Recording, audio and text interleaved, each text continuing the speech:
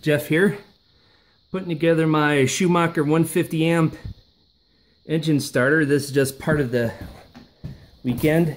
It has 150 amp boost, 55 amp rapid charge, 20 amp fast charge, and a 2 amp slow charge.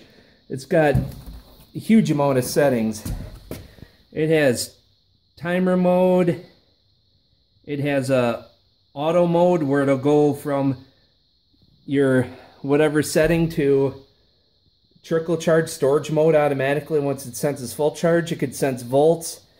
It can check amps. Uh, it could check health of the battery or something on there. All kinds of stuff.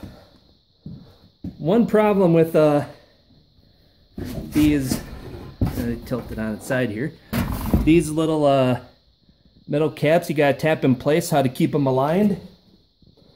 I saved this little handy dandy gadget from one of my daughter's uh, ride-on toys or something. Came in pretty handy.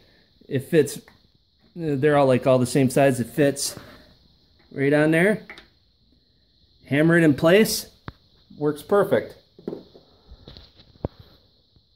Now I'm trying uh, pallets, newspaper, well pretty dry pallets even though they've been out in the rain most of the surface was dry where they were sitting under the trees so they're starting to go pretty good. Uh, hopefully it gets burning down in there a little better.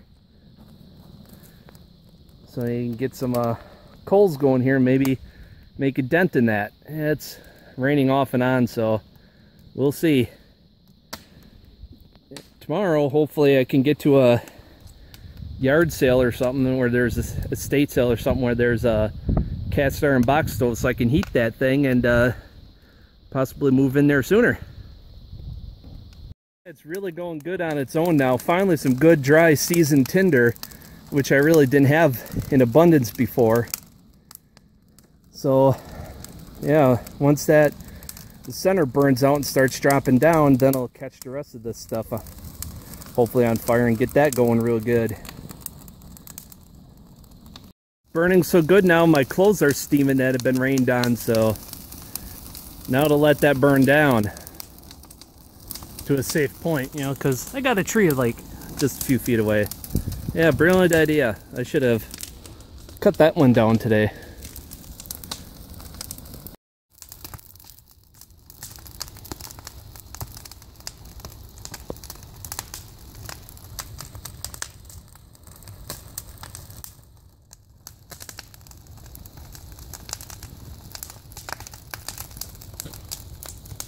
the main part of the fire died down and hopefully it can get some of the brush going. There's enough coal bed. So I gotta be careful, you know. The ground was steaming from all the intense heat from the main pallets burning, so now it's more down to the brush and see if we got enough coals going.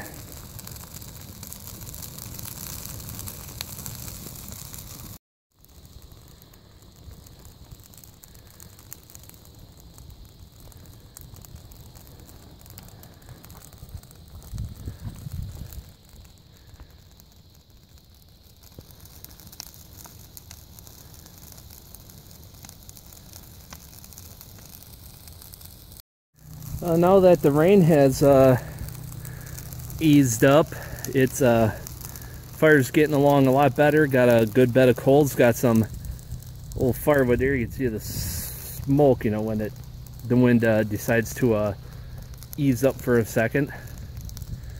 And that, that firewood pile there was still frozen to the ground. A few pieces of it. Uh, you got another shower, so the showers are getting uh, less frequent, so hopefully I can keep making a dent in the pollen in the morning. We'll see. In the morning will be Saturday the 25th. This is what's left of that bonfire from last night. As you can see, finally burnt up. It's still smoking.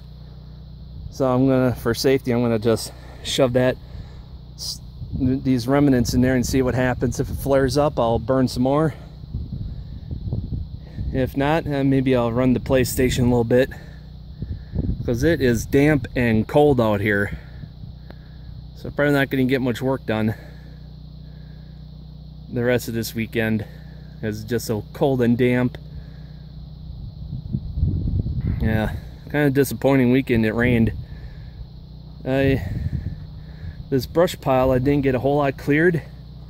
Basically, uh, it was right about here to there. I took off. Oh, if I straightened it, yeah, maybe uh, six to eight feet of the brush pile got burnt up, but it took forever. Definitely wood chipper is the way to go for speed, unless you can light up the entire pile uh, it's just not worth uh, burning brush unless you can light up the whole pile at once. Just takes too darn long to do it. You know, a branch or two at a time. And for safety reasons, uh, I would just tarp it off. You know, just cover up the top. You know, when it gets close to winter, then you have a dry spot free of snow and just light it up in the winter. Otherwise, don't uh, don't bother trying to burn brush any other time of year except in the winter. As you can see, you know, especially if you're working close to trees, it, it's just not worth it time-wise. Just get a chipper and chip it, or wait till winter and have a large enough clearing and just light it up.